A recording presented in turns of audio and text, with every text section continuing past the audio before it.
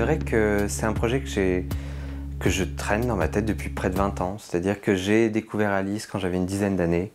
Et euh, c'est un, voilà, dans sa vie en tant qu'artiste, il y a un certain nombre d'œuvres qui jalonnent notre vie et qui font, qui vont devenir un peu des piliers, des, moments importants. Et quand j'ai découvert Alice au Pays des Merveilles, c'était le cas. C'est-à-dire j'ai découvert une nouvelle façon de raconter des histoires, de narrer des histoires, d'avoir quelque chose d'un peu ambivalent, sucré-salé comme ça, et qui m'a qui énormément touché. Je me suis rendu compte que c'était possible en fait, de faire des histoires comme ça.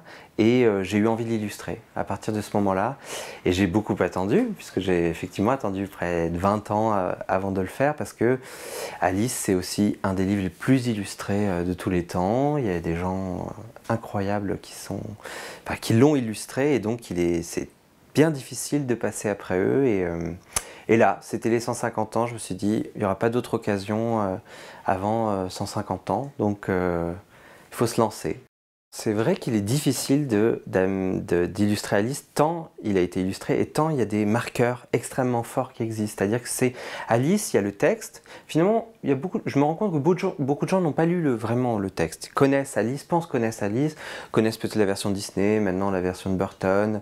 Euh, et Alice, c'est devenu euh, les personnages comme ça, le lapin blanc, le chat du Cheshire, euh, Alice elle-même, c'est devenu des icônes pop. C'est-à-dire que on les voit dans des clips vidéo, on y fait référence. Euh, mais en revanche, c'est très différent de, parler en fait du, phénomène Alice, des personnages Alice, et d'illustrer réellement Alice. C'est deux choses très différentes et, et j'ai pu m'en rendre compte moi-même parce que j'ai été appelé, euh, bah, justement, quand le film de Tim Burton, à participer à une expo, hommage euh, à quelques artistes qui étaient sélectionnés comme ça pour travailler dessus. Puis j'avais fait un pop-up aussi où j'avais fait référence à Alice. Et là, en fait, je faisais référence à Alice comme vraiment une thématique et j'avais dessiné une Alice très différente de celle que j'ai fait euh, dans le livre. Et parce que c'est très facile, en fait, c'est un univers tellement codifié que c'est très facile de faire, voilà, de, de, de, l'illustrer, d'y faire référence. Mais illustrer réellement le texte, c'est très différent parce que la narration impose un certain nombre de choses et euh, et il y a beaucoup. De... Lewis Carroll lui-même appelle beaucoup au visuel. C'est-à-dire, c'est un livre qui a toujours été illustré.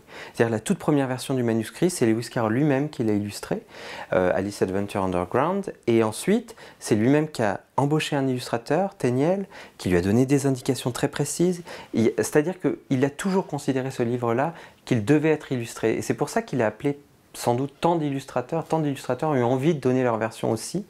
Et c'est aussi un livre qui a toujours donné euh, quelque part euh, euh, Lewis Carroll n'avait jamais été satisfait, par exemple, des versions illustrées. C'est-à-dire que ce soit la sienne ou que ce soit celle de Téniel, euh, pour lui, euh, c'était, voilà, il n'avait pas obtenu satisfaction de ça. Donc c'est c'est vrai que c'est fascinant et incroyable de se lancer là-dessus parce que c'est un livre qui appelle énormément à l'illustration, un livre extrêmement visuel avec des possibilités d'illustration incroyables et en même temps c'est un livre qui a été ultra illustré et il y a certaines personnes euh, qui ont fait des, euh, des travaux tout à fait exceptionnels et derrière qui il est très difficile de, de passer. Mais en même temps, voilà, moi l'envie était très forte, j'espère que j'ai apporté quelque chose de différent. Euh, j'ai eu, voilà, j'ai essayé, en tout cas, de coller au plus près de ce, que je pense, enfin de ce que j'imaginais être la vision de Lewis Carroll de ce monde-là.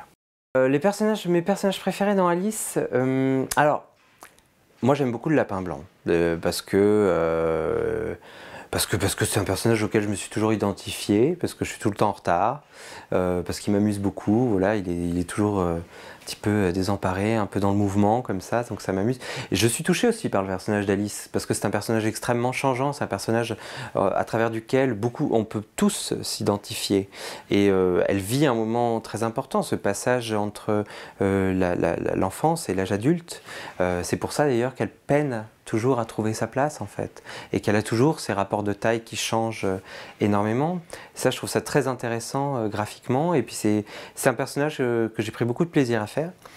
Et il y a des personnages qui me plaisent dans la narration, etc., mais qui ont été très difficiles à concevoir. Et je ne m'attendais pas. Puisque je vous dis, le, livre, je l'ai mûri pendant 20 ans et je ne m'attendais pas à avoir autant de difficultés. Mais par exemple, sur la, reine de cœur euh, ou la mock turtle, c'est-à-dire la tortue alors, fantasy ou la simili tortue, là, ça a été deux personnages très difficiles à créer.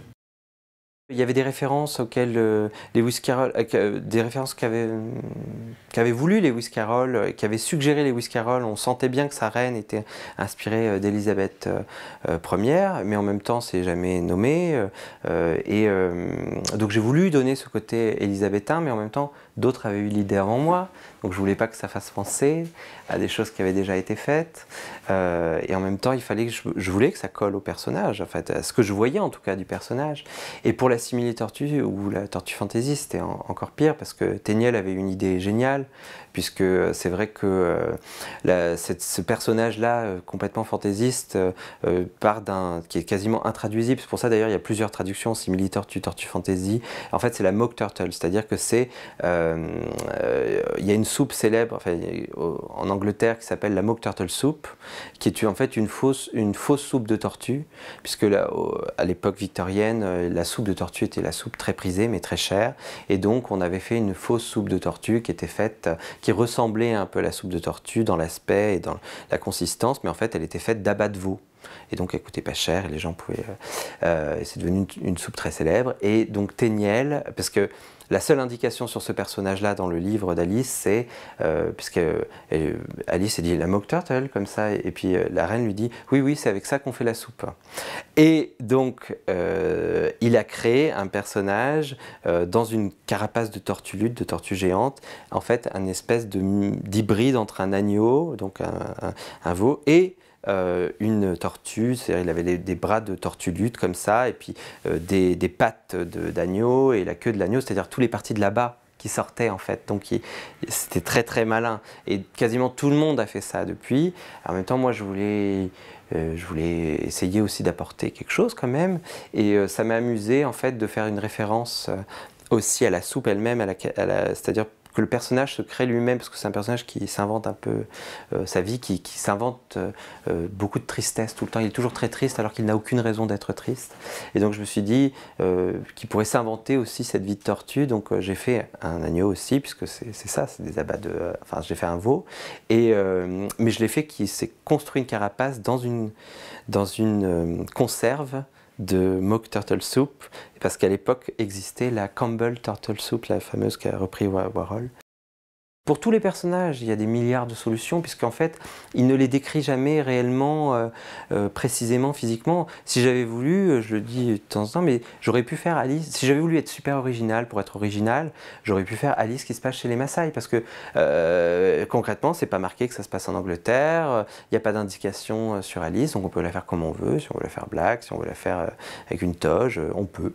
mais en même temps, ça n'aurait pas été logique, parce que c'est une vraie petite victorienne, petite fille de la bourgeoisie victorienne qui a des références euh, victoriennes. Donc même s'il ne le décrit pas, euh, il y a une idée très précise de la petite fille qu'il a fait. Et c'est pour ça d'ailleurs que lorsqu'il a demandé de l'illustrer, il a donné des indications très précises à Téniel, il a donné des photos d'une petite fille qui s'appelait Béatrice Henley, et il lui a donné un peu le caractère de la petite fille pour laquelle il a écrit le livre, c'est-à-dire Alice Liddell.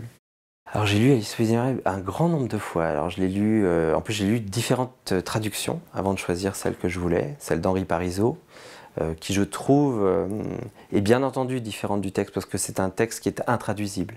Donc je l'ai lu bien entendu avant tout en anglais aussi. mais c'est celle qui je pense se rapproche le plus de la dimension surréaliste C'est pour ça que j'ai choisi cette traduction-là. Et c'est quelqu'un qui a étudié le livre pendant près de 30 ans. Donc j'ai trouvé voilà, qu'il y avait une approche euh, euh, très pure en fait euh, du texte. Je voulais que ce soit vraiment un voyage au pays des merveilles et que un certain nombre de choses que vit le personnage, on le vive avec lui. Donc j'ai une idée toute bête que étrangement j'ai pas vu avant, c'est qu'on accompagne en fait les changements de taille d'Alice nous-mêmes, le lecteur, en faisant grandir ou rapetisser Alice concrètement à, l'aide de rabats en fait. Donc on ouvre un rabat, on déploie un rabat comme ça et donc elle se déploie sur la hauteur ou parfois elle explose complètement la page quand elle par exemple dans la maison ou les cartes, etc. Et j'essaye en tout cas euh, que chaque livre soit singulier. Par exemple sur ce livre-là, techniquement j'ai fait des choses que j'avais jamais fait. J'ai fait euh, euh, par exemple les cabochons, c'est-à-dire les petites dessins qui vont rentrer à l'intérieur du texte. J'ai fait de l'encre de Chine et du Posca.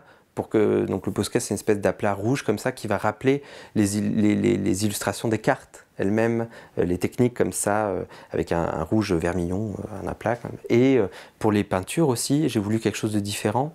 Je voulais qu'on le, monde des merveilles soit différent de la façon dont je dessine habituellement. Donc il y a une palette colorée assez riche, mais en plus j'ai fait un principe un peu nouveau, c'est-à-dire que les images qui se passent un petit peu avant, dans la barque ou à la fin, elles sont faites comme je l'ai fait d'habitude, c'est-à-dire à 120% à peu près de la taille d'impression du livre. En revanche, les images dans le Pays des Merveilles, elles sont beaucoup plus je crois qu'elles sont à 200 ou 250%, c'est-à-dire qu'elles sont très très grandes et elles sont très réduites pour qu'en fait il y, ait, un, sentiment d'opulence, de richesse très fort, un peu comme dans un rêve en fait. On n'est pas tout à fait dans la réalité, on a quelque chose de... Vous voyez, il y a ce sentiment euh, dans le rêve, parfois même si c'est très réaliste, on sent qu'il y a quelque chose qui ne va pas pendant qu'on rêve, on sent bien qu'il y a...